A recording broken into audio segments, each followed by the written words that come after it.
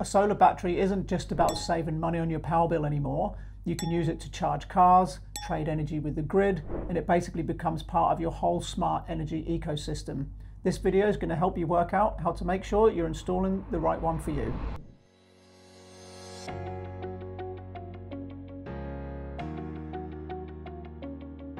G'day everyone, Dan and Matt here again from GI Energy. Today we're talking about the future of home batteries, home automation, vehicle to grid, and all of those fun things. Um, so as I said before, obviously batteries have evolved a lot. They're now becoming quite central to lots of cool things you can do. Um, so they can save you a lot more money. They can also make your life a bit easier, and that's going to change quickly. Yeah. So we're going to go through a few different categories here today. We're going to talk about the basics of a battery for those who are new to looking into batteries, how it can save you money, and then briefly how you can maximize those savings. We talk about VPPs, which are also here and now. That's a virtual power plant. We're also then going to talk about automation and smart homes and how things are changing there and what's coming in the future. Uh, vehicle to grid, vehicle to home, and what's coming there. That's another one for the future. Um, how batteries are helping stabilize the grid. That's another one that's obviously evolving all the time. Mm. Um, what you can do now, and then just summarize. So to start with the basics of a battery, how it works, how it can save you money. Matt, do you want to explain that one? Yeah, so a lot of people will have solar panels installed already or may not have anything there, but ultimately the battery captures excess solar energy that you don't consume in your home that ordinarily would go back into the grid, which now is a very, very low rate. Um, the battery then will obviously provide that power when you need it at night, or if it's a very overcast day, or you've just got a very high consumption for that period. So it's just the final piece of that puzzle to fully insulate your home, obviously from purchasing power from the grid. The battery can also be used with some options to provide backup power to the home, whether that might be some essential circuits like your fridge and a power point or some lights, or full back, like foolproof backup to the house, Armageddon style backup, I suppose. Um, it can also now be used, as you mentioned briefly, with a virtual power plant where you can trade energy to the grid. There's a couple of different options for doing that. So the battery essentially is just unlocking the potential of obviously storing that excess power that's virtually worth nothing and also just providing a full clean home basically. Yeah. And um, it's pretty much everything, all we're installing at the moment. Yeah, nearly every system, particularly since the government subsidy came into effect in midway through 2025. It was mm. um, obviously the uptake of batteries was uh, 99 out of 100 probably now come with batteries. Um, in terms of maximizing your savings, we did a whole video on this and it was probably 20 minutes long. Yeah. so we won't dive too much into that. But basically, maximizing your savings without speaking too much about a VPP, you really just want to concentrate as much of your energy still into those daytime hours when your solar panels are working, even though you've got a battery at nighttime. That's right, isn't it? Absolutely right. Obviously, if you can then preserve that stored capacity, depending on how much storage you have and what you need, it just allows you to obviously, yeah, still utilize a lot of the solar you're generating for yeah, hot water, aircon, pool, whatever you've got there. Um, then you've got your battery as your as your reserved capacity, basically. Yeah, yeah, exactly. And that probably segues nicely into VPPs because part of the reason you want to keep that energy mm. um, stored in your battery for as long as possible is so that during those peak times you're able to see yourself through, but also ex export excess energy into the grid when it's valuable. So a VPP, virtual power plant, is just a network of battery owners that have all joined together and allowed um, the aggregator to trade the energy with the grid. So I'm with Amber Electric. The way mine works is energy is very, very cheap during the day. So I'm able to grid charge my battery where needed. I'm able to use grid power for free or for one, two, three, four cents throughout that middle of the day when everyone's selling solar back. Time 4, 4.30 comes around, it becomes very expensive. That's when my battery discharges into my home to save me buying mm-hmm. and then also exports back. So you can export back then at 10, 20, 30 cents, even over a dollar at times, and then generate some revenue which can offset the fixed costs on your bill, but also can generate a credit on your power bill.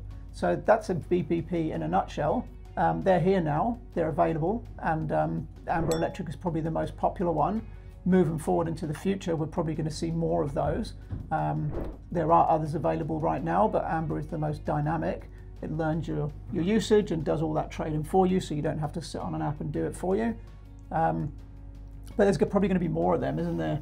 Oh, absolutely. There's a, there's a couple of others, and there was one the other day that I'd, I'd never heard of before that someone mentioned to me that I still need to have a good look into. Yeah, okay. But uh, yeah, like anything, if there's now going to be a couple of hundred thousand battery systems installed, um, especially across the east coast in, in the in the in the NEM where, where everything basically is, there's going to be more and more options to obviously utilise that power um, because it just makes sense to obviously tap into that that market for it. Yeah, hundred percent. It's made a big difference for me. My last few bills, I think, have been 13 six dollars and credit 40 or something. Yeah. whereas you know and we're pushing into summer now at the time of filming. My last bill in summer granted i only had half the size battery but it was 800 bucks. Yeah, this most recent one is in credit. Yeah, um, that's partly because i've doubled my battery size but also partly because of the vpp so they make a significant difference. Yeah. one sure. thing that people talk about a lot, and, and quite rightly so, is that they can potentially shorten the lifespan of your battery if you're charging and discharging it more, Yep. um, which is fair. But um, for me, I've made the decision that I'm comfortable with that, Yeah. knowing that I'm getting a better return on investment overall. So VPPs are a huge part of the here and now. They're also going to be in the future. There's also more time-based tariffs, which you're on. Yeah. Um, maybe you can explain how they work and how that works with batteries. Yeah, so that may be more suitable depending on your appetite for obviously trading power with the grid.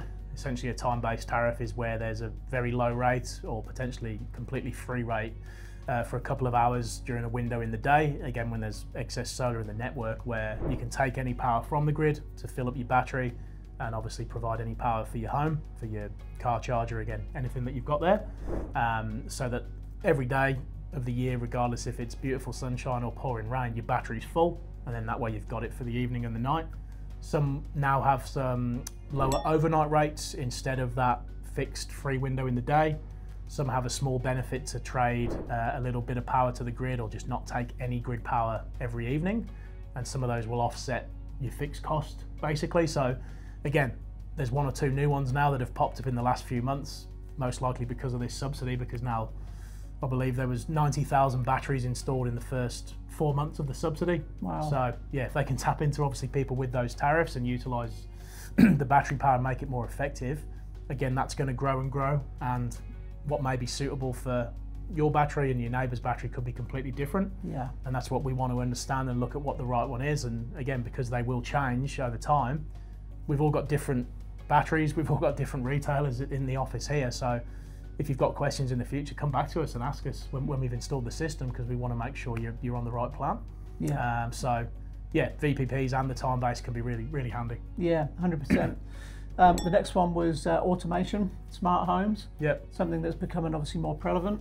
The I guess the basic, um, most sort of lowest, easiest one there to access to get the best savings from is just automating when your aircon comes on and your pool pumps and things like that. That's a low level automation. Yeah. So you can do that obviously um, already. But there's more coming Yeah. in terms of being able to control everything remotely Yeah. and then automate. So what we're seeing obviously with Amber Electric is they're learning how you use energy and then taking control of your battery and discharging power to the grid when it's more valuable, taking power from the grid when it's free or very cheap.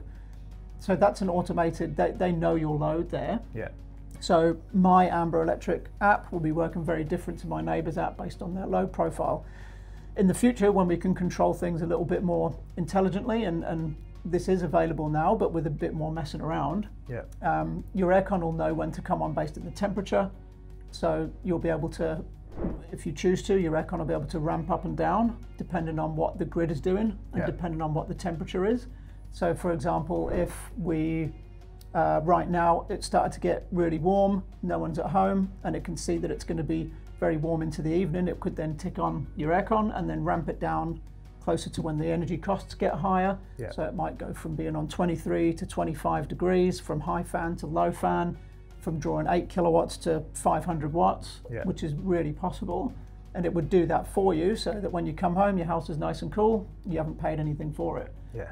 Same with pool pumps. Yeah. Um, and then it can be, uh, you know, you can just see where this can go with other appliances as well. Um, even your washing machine, you can leave that to, to, to come on at the right time. So there's lots of stuff coming, I Oh, guess. I think we did a video about some of the stuff I do. I'm quite, a, I guess, low level is probably fair. I'm not the, the smartest person on doing some of the, the more intricate smart home things. But those little ones you can do yourself, and I think I think the aircon's a big one. That's something I like to go into in a, in a, in a lot of cases, Yeah. and um, particularly with one battery that we install a lot of, the control on that is so good. Yeah. There's a smart port. There's other controls you can do for sort of circuit level stuff, just to even just to view what they're doing, not necessarily even turn them on or off, but at least you've got that knowledge. Yeah.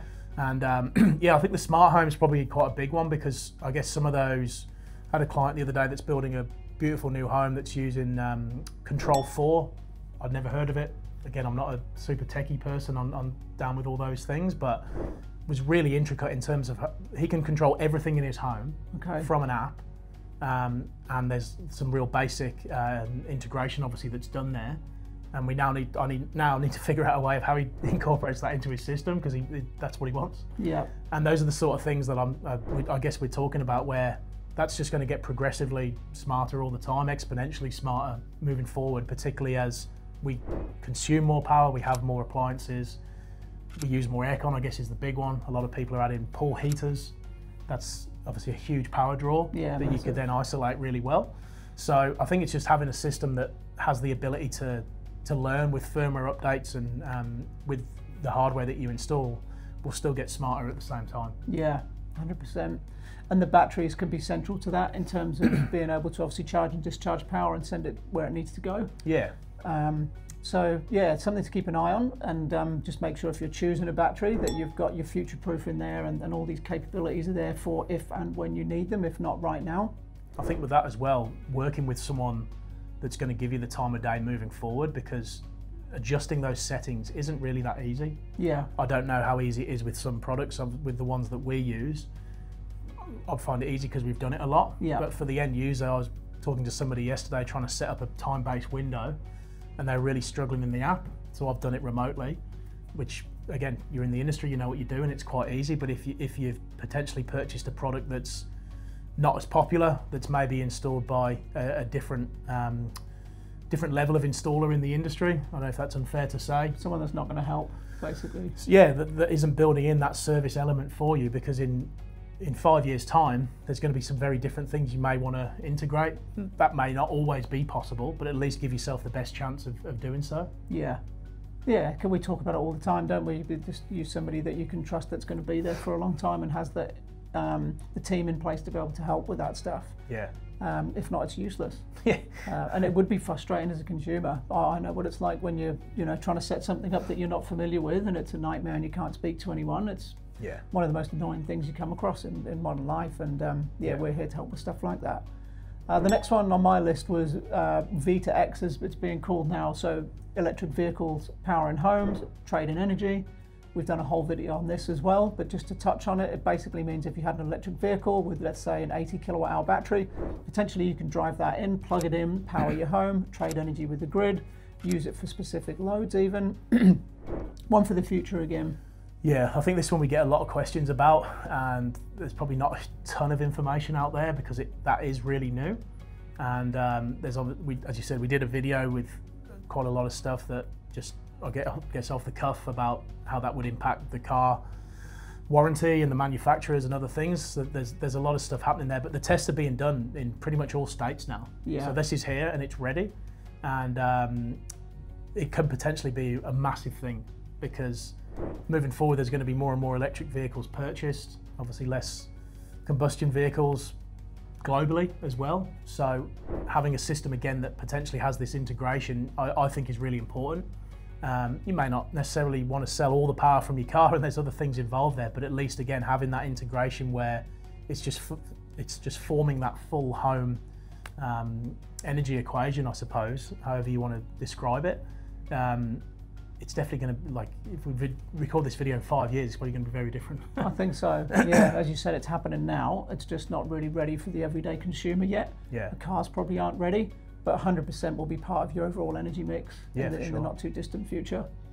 Um, the last one that I wanted to touch on with is more generally how batteries are help, helping to stabilise the grid. Obviously, we've got this battery rebate in Australia that came into effect halfway through 2025. As with all government policies, it had fairly mixed reviews. Yeah. Some people were against it, some people love it. Um, obviously, we're a solar company, so for us, we think it's great. I love it. well, I mean, and, and it's not just great because people are able to access batteries, it's actually quite a clever scheme because yeah. what's happening here is the government are subsidising somewhere in the region of 30% of a battery for yeah. people.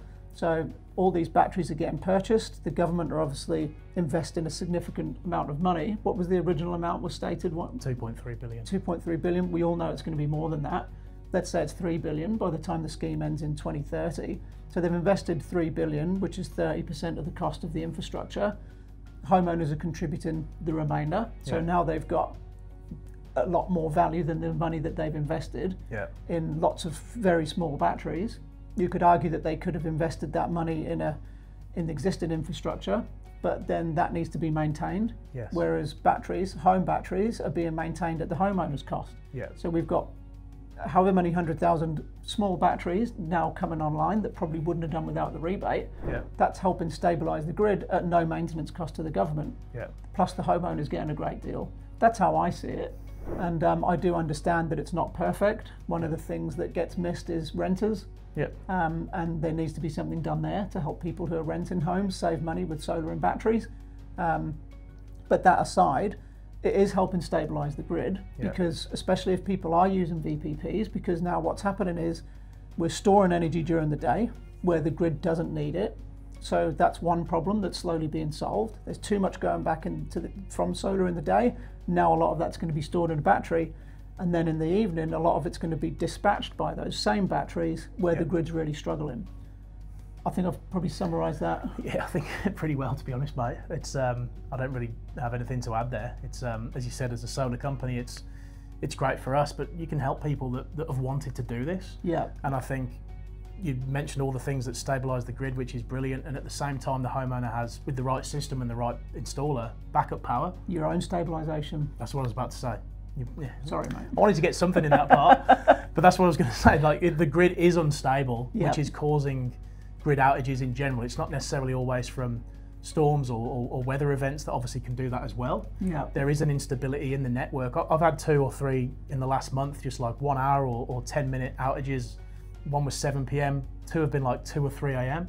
Okay. Uh, James, uh, one of the guys in the office here, he, he had one the other night for about three hours. That wasn't from a weather event. No. That was just the network. So something that's going on there. And especially in little pockets, depending on where you are, like the network in some areas is really, really old. Yeah. And the cost to upgrade that is ludicrous. Yeah. Essentially. And um, if this can form and help that in that way, plus you get the benefit of having backup power. Um, my neighbour would just put a system in. He had his lights on, and everyone was asking what was going on. You know what I mean? It's it's such a cool little talking point. Yeah. So um, yeah, it's great that it can help. It can help in that in that manner to obviously um, yeah to stabilise the network. Yeah, hundred percent. We get power cuts where we are. We're now coming into those really hot times at the time of filming this video. So um, we're going to get more, and it's so good having your lights on when the power goes down and your ceiling fans, and yeah, it's it's it's a real massive benefit. So I guess what can you do now as a homeowner or a business owner watching this video if you're looking at saving money um, on your power bill and, and, potentially having some backup power there and you want to make sure that you're future proofing it, then I guess what we always talk about is find the right people to talk to first and foremost. We're obviously a solar company, so we're going to be biased, but I'm not saying we're the only ones that are any good at this stuff. There's uh, lots of good companies out there, but unfortunately, there's a lot of really poor ones as well. It's just mm. the nature of the industry that we're in. With there being government subsidies, it's very transient. A lot of people come in at a low barrier to entry, set up a company thinking they're going to make loads of money because of rebates, don't tend to look after people very well. And we've seen it time and time again since 2011 when we started. So many people out there have got systems with no warranties and no support. Yeah. So get a proper consultation talk to the person about all of the stuff that we're talking about in this video and make sure that you're future proofing it properly so that it's going to be there as long as you're going to be there for. Yeah, spot on. Um, what we'll do is put a link in the description to our battery guide. So if you are looking at purchasing a battery, there's uh, some helpful tips in there. It's a free downloadable resource that I think a lot of people have found quite helpful.